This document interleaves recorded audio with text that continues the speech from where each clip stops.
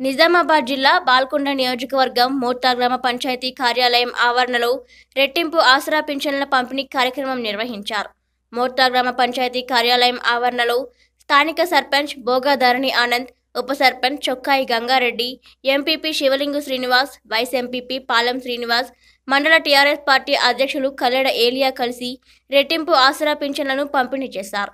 ఈ సందర్భంగా ప్రజాప్రతినిధులు మాట్లాడుతూ దేశంలోనే ఏ రాష్ట్రంలో అమలు చేయని విధంగా సీఎం కేసీఆర్ రెండు వేల పదహారు రూపాయల ఆస్తుల పింఛన్లు అందిస్తున్నారన్నారు.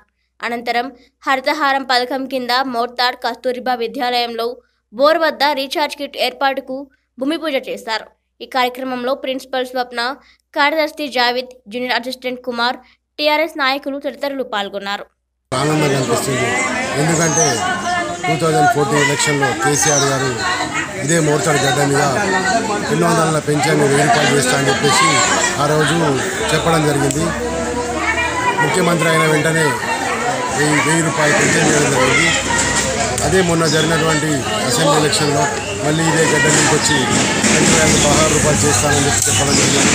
ఇది మాకు మేము ఒక ఈరోజు మన మండల పరిషత్ అధ్యక్షుడిగా ప్రశాంత్ రెడ్డి గారు వారి ఆశీర్వతో మండల అధ్యక్షుడిగా అవ్వడం జరిగింది.